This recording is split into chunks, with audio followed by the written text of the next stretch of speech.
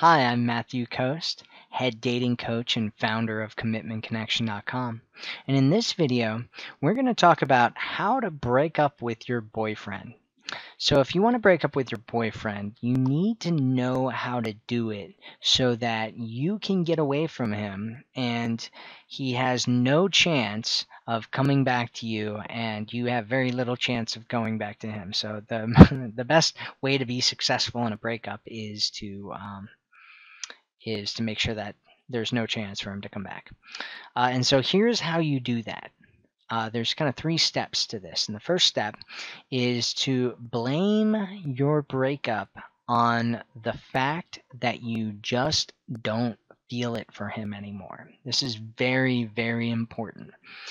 If you um, give him something that he can fix, you know, if you tell him that he's acting like an idiot, he can fix that if you tell him that um, he's being too much of this or too much of that or too little of this or too little of that, he can fix those things and he can change those things. If you're like, well, you didn't go and do this, you know, he'll go and do that, you know. And so if you really want to break up with him and you want it to work, um, make sure you don't give him a way to come back to you, right?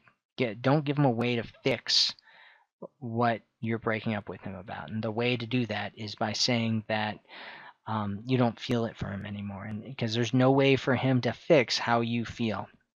There's nothing he can do to try to fix that. So number two is disconnect from him completely and block all communications from him, unfriend him from social media, and do anything else that you need to to disconnect from him. Um, you need to do this for at least a couple months until he's lost his will to come back to you, which sometimes could happen take a long, long time. But you know, at least a couple months is is best. Um, you know, uh, people have withdrawal symptoms after a breakup, and so they want to like reconnect. You know, and you may even want to reconnect, and and um, so the best way to make sure that it lasts is to cut off all communications, block his number, you know, disconnect, unfriend him all that kind of stuff.